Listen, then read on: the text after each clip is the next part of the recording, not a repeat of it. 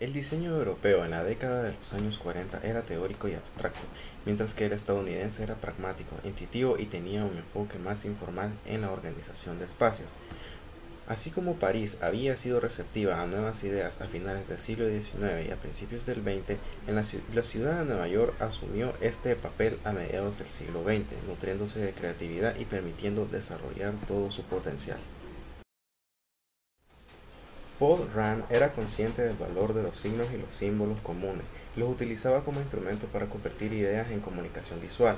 Rand definía el diseño como la integración de forma y función para lograr una comunicación eficaz.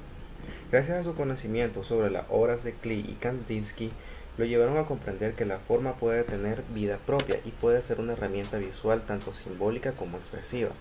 En 1946 publicó Thongs of Design. Lustig incorporó al diseño gráfico su subjetividad y sus símbolos particulares. Creó diseños geométricos abstractos usando ornamentos tipográficos. Joseph Albers en 1951 le pidió que colaborara con él para un programa de posgrado de diseño en la Universidad de Yale, pero en ese momento comenzaba a fallarle la vista y en 1954 quedó completamente ciego. A pesar de esto, siguió dando clases y diseñando hasta su muerte un año más tarde.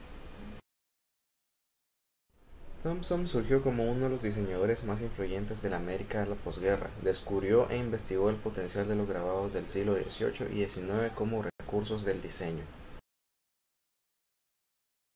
Este diseñador intuitivo poseía la capacidad de captar la esencia del tema y expresarlos en términos completamente sencillos y elegantes. Dirigió el departamento de, diseño gráfico de la empresa de diseño George Nelson Associates antes de abrir su propia agencia en 1956. En 1950, Joseph Albers y Alvin Einstein dirigían el programa de diseño gráfico en la Escuela de Arte de la Universidad de Yale. Además de Einstein, su cuerpo de docente fue formado por Norman Eves, Paul Rand, Herbert Matters, Alvin Lustig, Bradbury Thompson, entre otros. La lista de profesores invitados también abarca a personalidades como Lester Bell, Raymond Savignac, Dieter Roth, Peter Bradinga, Ken Haber y entre otros. Debido a las clases de diseño que daba Brodovich, en la generación de diseñadores editoriales empezaron a trabajar por su cuenta. Fueron extraordinarios y brindaron a la experiencia del diseño editorial una de sus mejores épocas en los años 50. En 1960 surgió y prosperó una nueva generación de publicaciones dirigidas a los intereses de públicos especializados.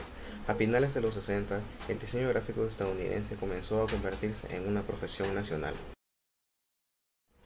En contraste con el atiborramiento de los mensajes múltiples habituales en la mayor parte de las publicaciones de la época, Dolly Dane Bernach utilizó con eficacia el espacio en blanco para dirigir la atención al lector hacia el titular y la imagen en las páginas atiborradas de los periódicos. Su principal aportación, consistió en combinar las palabras e imágenes de una forma nueva. La fototipografía es la composición tipográfica mediante la exposición de negativos de caracteres alfabéticos sobre papel fotográfico. Herb Lubalin fue un generalista absoluto cuyos logros incluyen desde el diseño editorial y publicitario al diseño de marcas comerciales y tipográficas y de carteles. Fue un aclamado genio tipográfico de su época. Lubalin también hizo aportaciones importantes al diseño editorial durante, durante la década de los 60.